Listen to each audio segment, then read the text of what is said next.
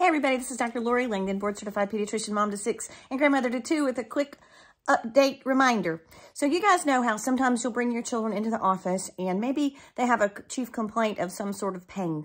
And in absolute love and adoration, I understand your motivations. You supply the answers to my questions.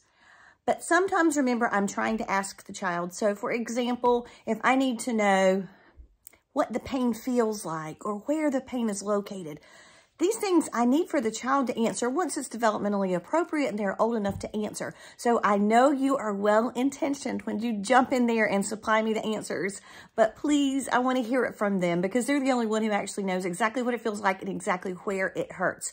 Now, for how many days it's been going on, I'm probably going to need you to help.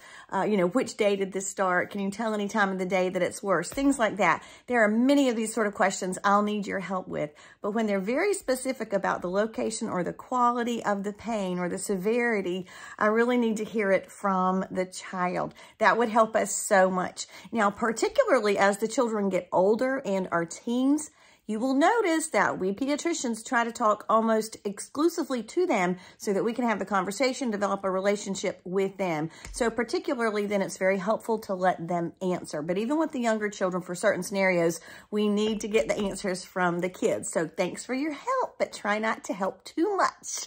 Thanks.